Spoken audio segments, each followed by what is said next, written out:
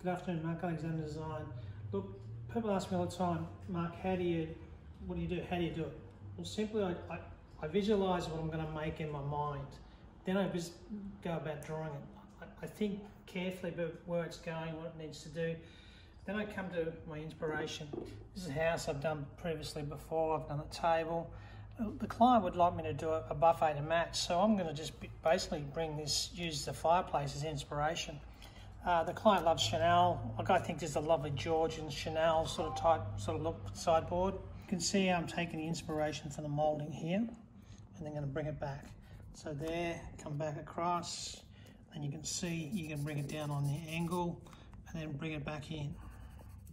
So then this will be a, a lovely basically magnificent Georgian base. I'm an artist, manufacturing furniture for many years and designing furniture. So I'll just use inspiration in the room and then bring it into buffet. This will have, as previous done recently, we've just done a beautiful uh, Georgian type French table. Drew this up. Here it is while I'm drawing it, then I produce it. I have the ability in the hand and all that sort of stuff to know what we need to do.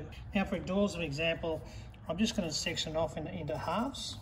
So we'll section in halves this very roughly, and then we'll bring this base, this type of base around it as well. So I'll make this outside perimeter, my doors. So then bring it back into the doors and I'll section it off. So I call this the Chanel. The customers have found a Chanel, so we'll call it the Chanel buffet. Why not?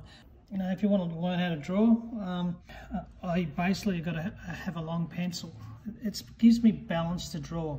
The minute the pencil gets down a little bit, I throw it away. I actually use this part of the pencil. It's a bit like driving a car. If you lose your tyres, you can't steer. So it really gives me quite a lot of balance. You can spend so much time trying to draw things in ruler-wise. Another tip you can hear, just draw the dots where you think the frame needs to be. Some designers might spend a lifetime drawing a range of furniture. I do it every time, every house. It's quite easy for me. It's good fun. I love it.